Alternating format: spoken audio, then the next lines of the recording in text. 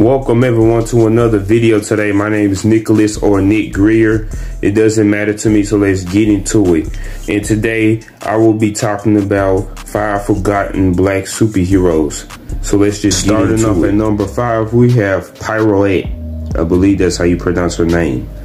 Joe Beth made her first appearance in X-Force issue 82 in September of 1992.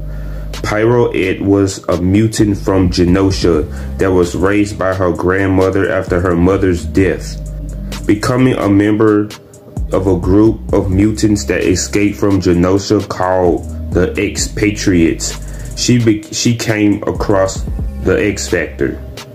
While at this time, she became involved with Strong Guy, one of the most strongest mutants in the X-Men. Jo would return to her grandmother at home once she was free from Genosha. Her current whereabouts are unknown. She can create whirlwinds that, that can help her fly and use it against enemies. At number 4 we have Lightbright. Obax Majid was born and raised in Somalia, where she became Lightbright joining a rebellious group of Somalian mutants called the Biogenes. Their plan was to get rid of anything influenced by the United States.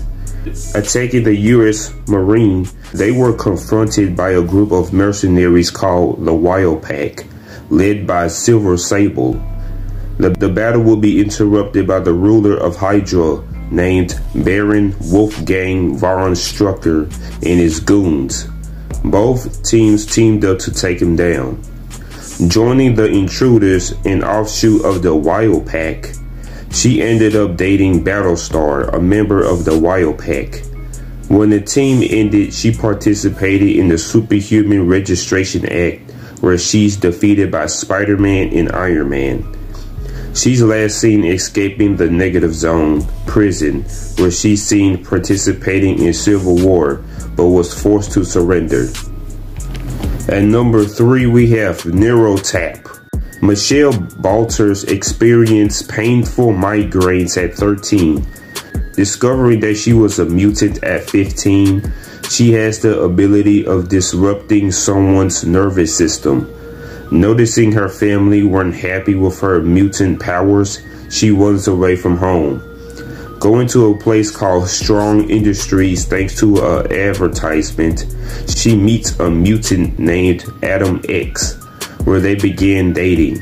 Encountering the mutant teams X-Force and X-Treme, she lured them into Strong Industries. It's revealed that she works for the owner of Strong Industries, Martin Strong, just to find a cure for her mutant powers. However, she and the owner were defeated. Neurotap continued working with Strong and became one of the few mutants to keep their powers after M-Day. At number two, we have Windshear. Colin Ashworth Hume was originally a mutant that used his powers for work as a special operative at Roxxon Oil Corps United Kingdom branch.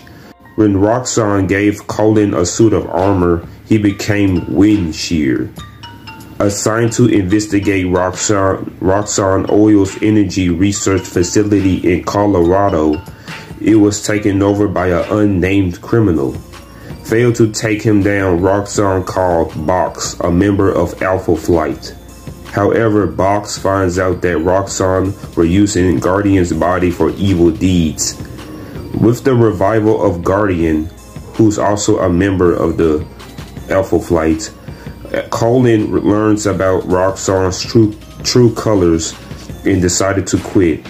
Joining Alpha Flight, Colin will return to his birthplace, England. Once Alpha Flight disbanded, Colin became one of the few mutants to keep their powers after M-Day, and he will be diagnosed with leukemia long after. Finally, at number one, we have Darnice. Darnice grew up with Raquel, aka Rocket, from Icon and Rocket when they were young. When Raquel became pregnant, she offered Darnice the power of Rocket, in which she gladly accepted. Looking for looking for a replacement for Icon, they came across a guy named Buck Wild. As the two replacements became closer as Icon and Rocket, things suddenly took a turn a few months later when Raquel gave birth to her child. When, when a powerful alien called Oblivion came to Earth, he severely injured Buck Wild. In fear, she returns to Raquel for help. As Raquel returns her role as Rocket, Darnice babysits her friend's son, while Rocket deals with Oblivion. Buck Wild would unfortunately die from his injuries, and Darnice is seen at his funeral. There will be a full video of Oblivion coming soon.